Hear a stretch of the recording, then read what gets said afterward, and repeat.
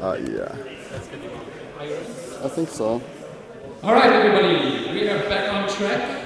I'm very much looking forward to the next talk.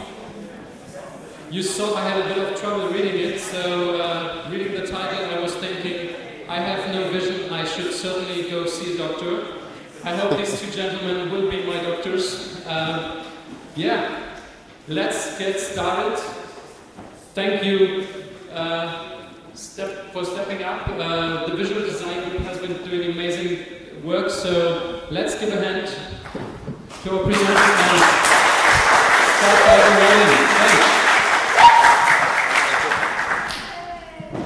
Okay, can you hear me? Thank you.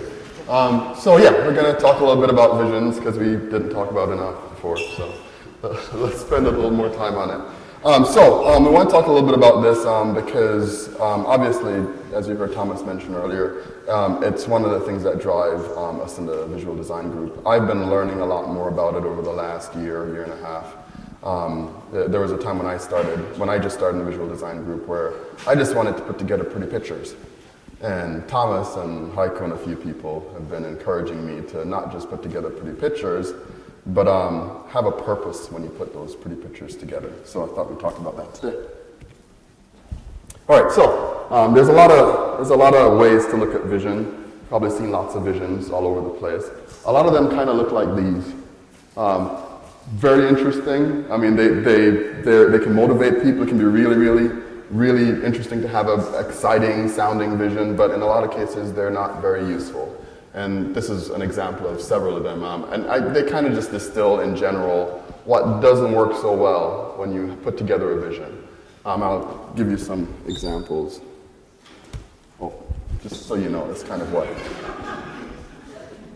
You have anything to say about that? Okay. Just chime in. Yeah. Okay. Um, so, um, some examples from the real world. Um, I like Dell computers, so it's not anything about Dell. But it doesn't get any more vague than that. It, it really doesn't. I mean, it tells you nothing about what it is that they're trying to do. Yeah, everybody wants to be good. Everyone knows that. I don't think anyone goes out there and sets out to be the least successful computer company. So, um, this is another. I don't even know who they are, but I Googled really bad visions and got that and you can probably find a host of others. So um, let's talk about a little bit about what makes a bad vision, or a vision, not a big V vision. Um, so vague. That's kind of what we're talking about with a Dell vision. Um, lots of buzzwords, synergy. Yeah, it, go to the, they actually have a mission statement generator online that just basically randomly puts together a bunch of buzzwords with verbs, and it elaborate mission statements, and then you can go look at some of the company, lots of companies' missions, big corporate missions, and they look pretty similar to what the mission statement generator produces. Um, so buzzwords. Um, it's vague. Two-page length visions. If you can't communicate your vision in about five minutes, it doesn't work very well.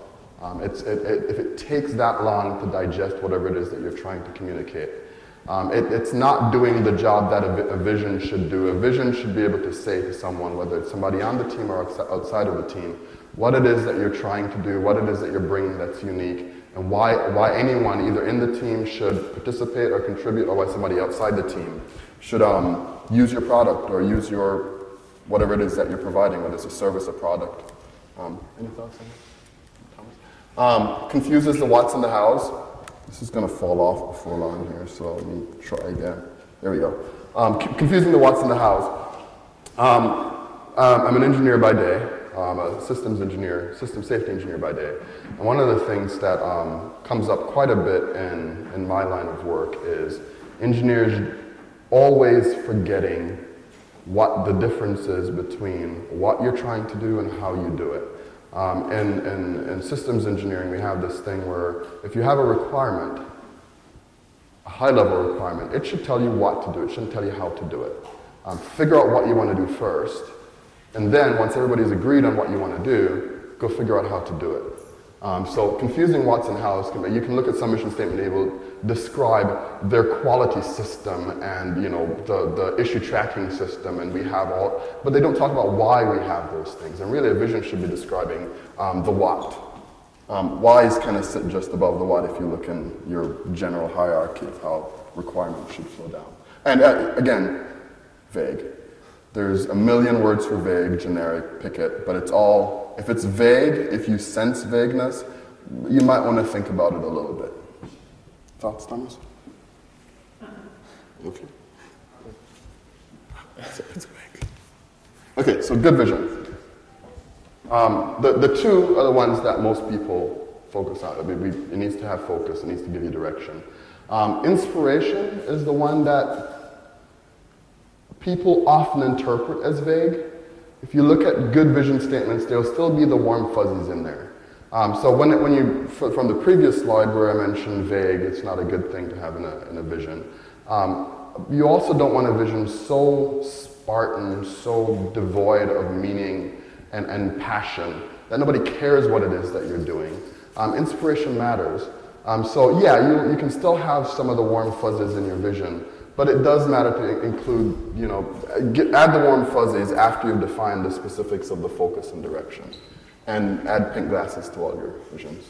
yeah, and um, for inspiration, your vision can and should be bold. It should be achievable, so nothing that is just completely out of your reach. But if you just mention a vision that you can achieve too easily, then it won't exactly give inspiration because people will just do what they're already doing anyway, and so it won't help. So, in your vision, you should set a goal that is above what you already have, but of course still achievable. That's a good point. All right, so this is just an example. There are a million ways to come up with visions. Um, do not take this as canonical. This happens to be one of the things that we, it's in the HIG when you're trying to come up with a concept for your project and come up with a vision for your project. Um, it's just an, an, aid to walk through how what the, the, elements that are probably useful in coming up with a vision. And this applies more specifically to an application or a product. Um, but you might substitute a few things in and out if you're talking about organizations or communities. Um, I won't get into the specifics of that. Um, so, but I will give you an example of a really, really good vision. That is an awesome vision. It's fantastic. I couldn't, I, I, saw this on the, on, the, on the internet this morning, and I couldn't pass it up, so I added it this morning. Sorry, Thomas. anyway, a really good example of a vision. Everybody's mentioned it before. Um, so in doing a little bit of research for the, the tiny little bit of research I did for this presentation, no, I did vast research for this presentation. Um, it doesn't matter where I go, I keep coming back to this, Krita. I, it, it is rare to find a vision statement that is as clear, as precise, as inspirational as this is. Um, and I'm not talking about within free software, I'm talking about anywhere. And it's not just the words. I, I remember when the Krita team came up with this and they announced it. And I was one of the, what? I want a GIMP for KDE. What are you doing? but what was really cool is I, I, it blew me away every single time that I saw the next step that they announced on, on Planet KDE, and you, you kept seeing them just rolling, progressing each time. And um, there's, there's a, I live in Seattle, and there's, there's one artist there. Uh, he, he, occasionally he shows up at some of our local conferences, and he has KDE, he has Krita out. And I saw, I met him last November, it was, I think, Valerie. And um, I saw him doing his stuff. He's an artist. That's what he does. He, he, he is not a developer. And to see him use this tool and produce what he produces, I, it was, I mean, it became crystal clear. This vision wasn't just a bunch of words. It drove a product that is unparalleled by every definition. I mean, you talk to these guys and they love it to death. It's amazing what a vision can do when you use it well and, and, and let it drive the project. Yeah. Plus, as you can see here, that vision doesn't exclude anything specifically. It doesn't say we do not do this and we do not want to have that. So theoretically, if someone wanted to do something that is not particularly useful for digital painting, they could still do it. And it probably wouldn't be rejected. But this is what the team focuses on, and this is what they want to do right and do best. And so, yeah, as, as some people feel that, oh, it might exclude some ideas, it doesn't have to. It still provides focus and it still produces a great product. So, um, so that was an example, but here's some of the things that um, we, we see um, that visions can do. Um, before I go too deeply into this, uh, it, it's really important um, from the previous slides that if you have a project that you're working on, it's not about just coming up with a vision for a product. Um, what re- was really important, and in the example, that little example too, it, what are you guys, what do you think about yourselves? What is it that you're trying to create a vision for? It's not, so it, you kind of, you go through this navel gazing exercise of defining yourself to try to understand what it is that you're actually doing. It, it matters in that, and, and from the previous conversation, I don't want to editorialize too much, but if it's about community, then define what that is. Just, it, it, matters to have that navel gazing exercise to define what it is that you're trying to do, um, to define your vision. Okay, I'll get back to the slide. Sorry for the editorial. Um, okay. Um, vision enables you to do stuff. If you create a vision that's not enabling you to do stuff, stop. It's, it's going to be pretty words. So create a vision with a view to enabling you to do specific things. Uh, visual design group, kind of focus on user interface design, so we're going to talk a little bit about those. Um, identify applicable personas. We'll talk about what personas are. Target scenarios that, um, that you want to develop to connect your user to the, to the goals that they're trying to accomplish. Um, their user stories. Um, make better UI design decisions. We all want to make better UI design decisions. One of the great things about having a vision and all the things that flow down from that is it helps you actually have a sensible conversation about how to design your user interface. And it, it, for clarity, there's a lot of people that have really good user interface design skills. It does not mean that you aren't doing this kind of intuitive connection to the vision in the background.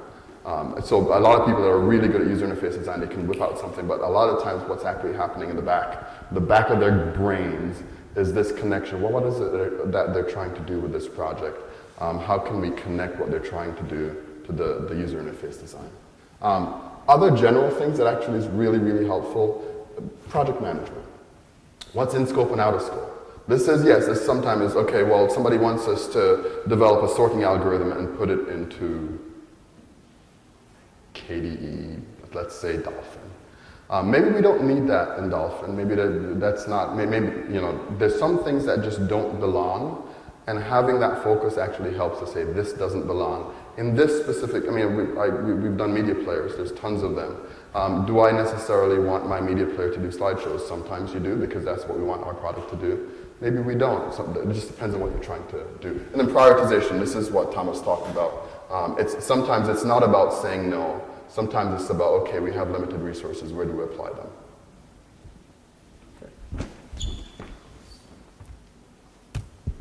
I'll let you talk about this one. Because I think this is great, but he came up with this slide. So. Yeah, um, a tagline. There, there's one tagline which has become sort of famous by now within our community, which is uh, the, the VDG's tagline, um, simple by default, powerful when needed. Um, so this is, this is just, it isn't a vision because um, it, yeah, it doesn't contain the, the necessary parts and it well, it isn't vague because you can. Everybody understands what it means, and um, apparently it's catchy enough that people remember it pretty quickly. But um, I wouldn't say it necessarily replaces a vision because um, it's just too short for that, but it, it complements a vision quite well. Um, because, yeah, on the one hand, you can of course use it for uh, internal communication because if you discuss with someone, maybe you don't want to repeat the vision every time, but if you just mention your tagline, and uh, then of, often you can already pretty quickly decide whether your idea is in line with that tagline.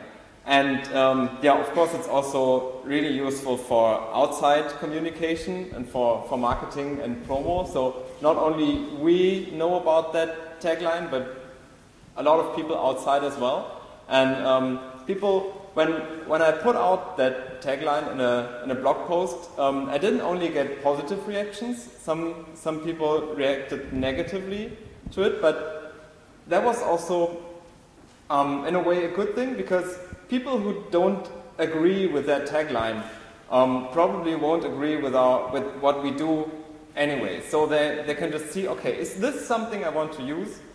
Then uh, fine, then I can look forward to what the VDG and KDE in general will produce. And if I don't like that, then maybe I should go look elsewhere.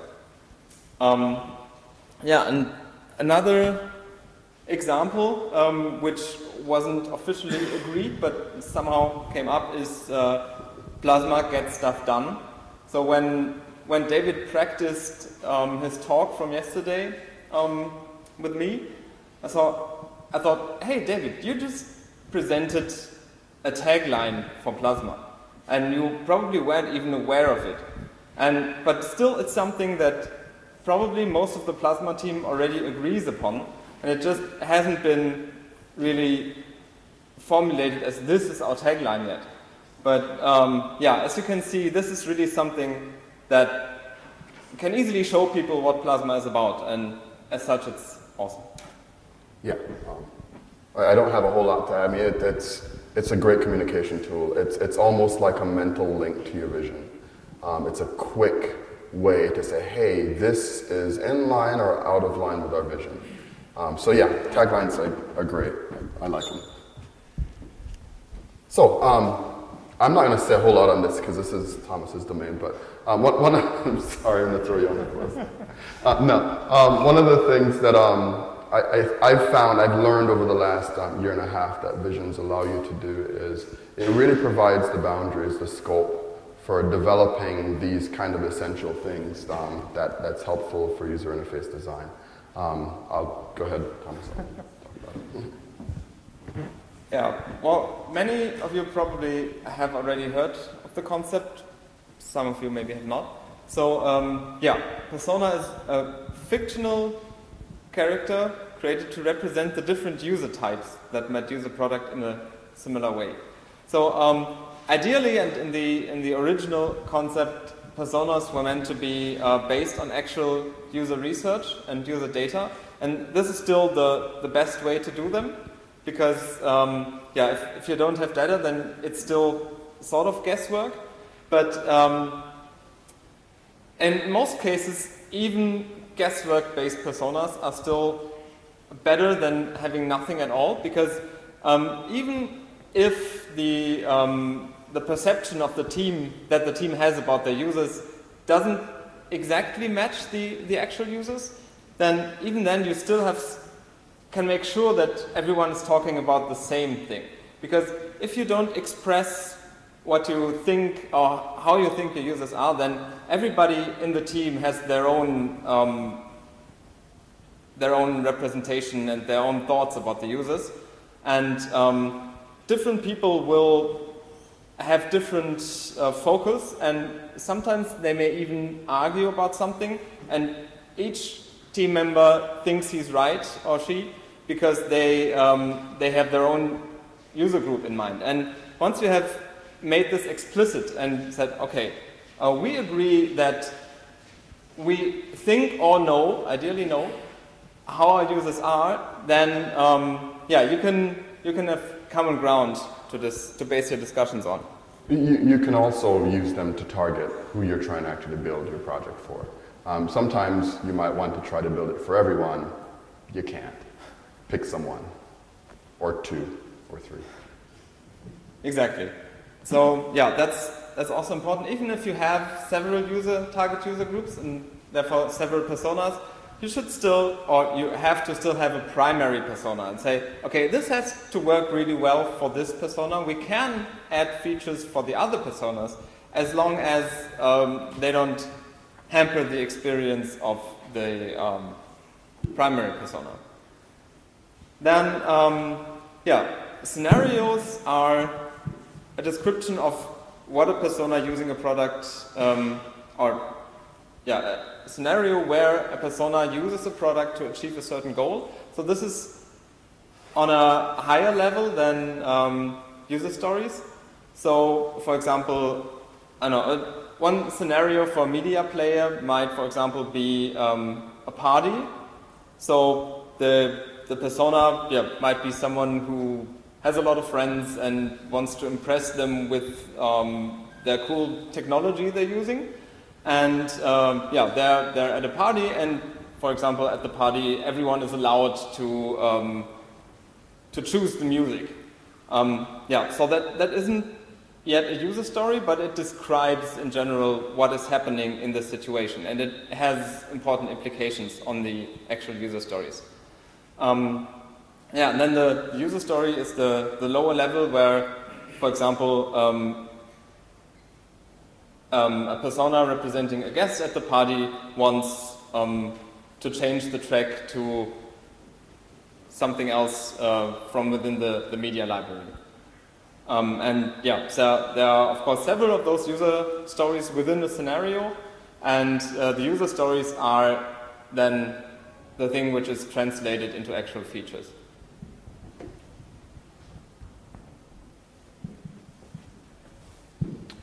So, like we've, like we've mentioned several times before, um, they provide the basics for building great user interfaces, and as we mentioned, they derive from a good vision, not a terrible vision. You can't get anything from a terrible vision. Um, so, um, I'm about to go through some an example. This is stuff that Thomas and I kind of worked through. I, I, don't even think I have all of your comments captured in it. And this is not meant to be, hey, the plasma team go do this. That's not what this is meant to be. So plasma team, it's okay. Everything's gonna be okay. Okay. Um, so um, it, this, is, this has been, I, I, I confess, this is, uh, this is something Thomas has been thinking about for a while, and I've kind of glommed onto and um, it was the, the, the, desktop configuration for Plasma. And you know, Thomas has had some thoughts about this for a while. You can either slam the Plasma team now. I'm just kidding. um, but so we were thinking about this, and um, so what we wanted to do was, well, what if we went through this exercise? Um, and we, this was like last year. Um, and no vision here has been approved by the Plasma team. Uh, so let's get that out of the way. This was how can we, what, what will we use to guide for example, the, the design of our desktop configuration, if we were to propose a new design. And we can talk offline about this plasma team, whether or not this is something that makes sense, settle down. Okay, um, so we came, up, we came up with this vision, um, or I came up with this vision and Thomas didn't object strenuously to it. Um, So um, Plasma Desktop provides an easy-to-use workspace, effortless that you can read for you. Um, so this is this was what we use to, to kind of to guide the, the next few steps in um, the, the the design. Um, we K, KDE has um, some pre-packaged personas that you can use um, if you're doing your own work. So you can go. I, I think they're linked in the HIG. Yeah, in fact, I know they're linked in the HIG. So if you, if you go to the HIG um, and you're trying to find personas for your project, um, there's some prepackaged ones. And what I found is that in most instances, they cover most of um, the, the needs that you need for uh, user interface design. So um, you'll see these names here. They're actual names from the, the personas. They were created back in KDE4, by the way. Oh my God, I said that. What, what, are we calling it these days? Is it, okay, whatever. So Su Susan, Philip, and Santiago, their personas um, for uh, from, the, the, from the standard prepackaged personas. And when you read their stories, you re- when you read who they are, it'll make sense why we use them. Um, so we came up with several scenarios. I think there are probably about seven, eight, nine, ten scenarios. I forget how many there are. Um, this is an example of one of them. It's, uh, it's really wordy. Um, but the point is to, hey, sit down and think about what it is that people are going to be using your thing, your widget, your product, whatever it is, and come up with these scenarios. And it kind of helps with the design. Um, as it turns out, the next few slides will not be about this scenario, but I just want to show you what a scenario looks like. Okay, so screenshots are coming up. Uh, no, no, mock-ups are coming up. These are not screenshots, these are mock-ups. Um, yeah, don't freak out. Okay, so the screen, the, the mock-ups are really about, um, well, what if we kind of tried to refine our panel configuration? Stuff. Oh, by the way, this has been out on the community.kde.org wiki for like the last ever. I mean, like a, it's been out there for months. Um, so this isn't new stuff. It, has been out there for a while. Um, so you can't see anything on this wonderful high resolution screen. Um, but the idea, I'm going to walk through what this design essentially does for just the panel configuration. Um, okay, so pretend that you click a button here and that's the, the selection or menu. Um, and you selected, hey, I want to edit my panel. Um, good lord, this is terrible. so that's kind of a dialogue thing. You can read the thing below it, that you can guess what, what it's saying. Um, so there, there's a little black bar above it, there's some grab handles on there. Um, the hovers, hover over the mouse over over the, um, the panel applets are pretty much the same. But you get a little bit, something a little bit easier to maybe look at and read and understand in terms of what the panel configuration options are. It would follow the mouse. So if you hover over the top panel, if you have multiple panels, then that, that dialog would follow um, the panel that you're hovered on. Um, this doesn't show it very well, but so the handles for the, the min max size for the panels, this is what this is supposed to show with the anchor. It's just a different visualization for allowing you to, to change the panel width. This is what it looks like when you have your min panel set and max panel set. Um, there's a lot more on the community.kde wiki. The point is um, you can use, using those scenarios kind of helps you narrow down, especially for the edit panel, the, the edit panel dialog. Um, what do you think they want to use in there? You kind of refer to your scenario, your user stories to kind of figure out, well, what are they doing in this state? What, they, what don't they want to be doing in this state? Um, what are things that you can recede into the background or remove from availability? Um, when they're in this state of configuration. That's really kind of one of the things that we're focusing on is try to pull stuff away from the user. And do you have anything else on this? Do you have anything else to talk? Okay. So, finally, in summary, visions drive projects, they drive organizations, they drive communities, and it really makes it easy to do user interface design consistently. That's it.